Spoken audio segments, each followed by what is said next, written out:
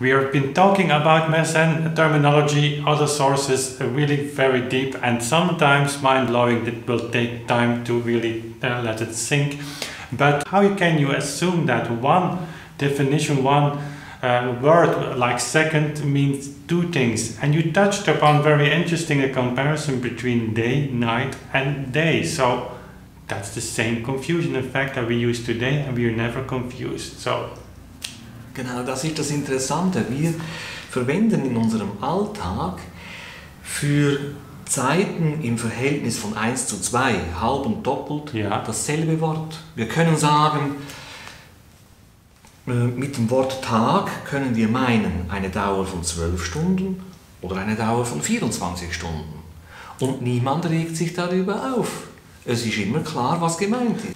Wir reden äh, Tag als einer periodischen Einheit und meinen automatisch 24 Tage. Zum Beispiel, wenn ich sage, äh, äh, Wim war drei Tage bei mir, ja, dann meine ich natürlich dreimal 24 Stunden.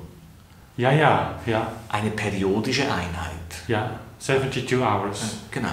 Wenn ich aber, wenn er mir sagt, heute haben wir jetzt schon drei Stunden äh, geübt, dann meint er kein, nicht eine periodische Einheit, sondern er meint einfach eine Zeitstrecke.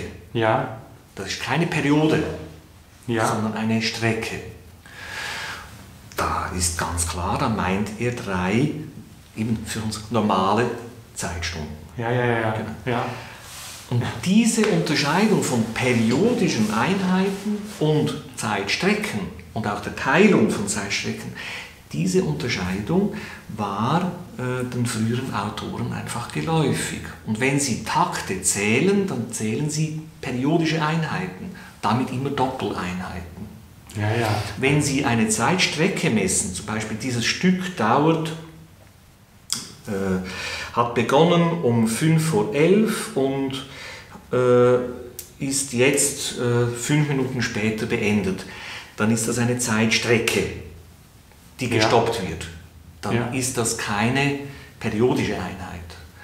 Dann wird niemand sagen und behaupten wollen, ja, der äh, hat jetzt äh, eine Doppeleinheit. ja. Äh, That's interesting because you, you touch upon another topic about durations and notations of durations, and that's something very difficult because that's a time strecke, that's not a time duration, but maybe they even Doch, like Duration, aber keine periodische. periodische duration. Ja, ja, Genau, genau. Vielleicht noch eine Bemerkung. Ja, In. Italien habe ich in verschiedenen Städten, in Venedig, in Verona zum Beispiel, äh, 24 Stunden Uhren gesehen. Also ein Zifferblatt, wo die 24 Stunden, In einem, genau, Also nicht- nicht- ein nicht- Umlauf, na- nicht, nicht 12, nicht 12 und dann sondern 2, ja. 24. Äh, Und da kommt diese Idee auf. 24 Stunden, da eine 24-Stunden-Uhr äh, bezieht sich eben auf den ganzen periodischen Verlauf. Und dann hat man noch mehr eine Idee von dem, was die Doppeleinheit ist. And wh- wh- which time were these clocks made?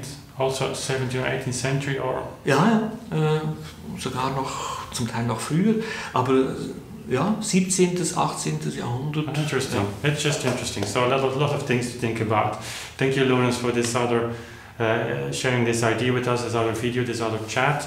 And of course, we're continuing with some other topics. We're going to, to cover also the metronome indications. So don't worry, we will be leaving the French notations when it's time because it's a little bit theoretical, and we would love, of course, to see more discussion. I think about the metronomizations and Czerny, Moschles, Mozart, Haydn, Beethoven, the influence on the, those works, but that's all coming. So thank you, Lotus, again. Hope to see you again for next video. Stay tuned for that. Bye.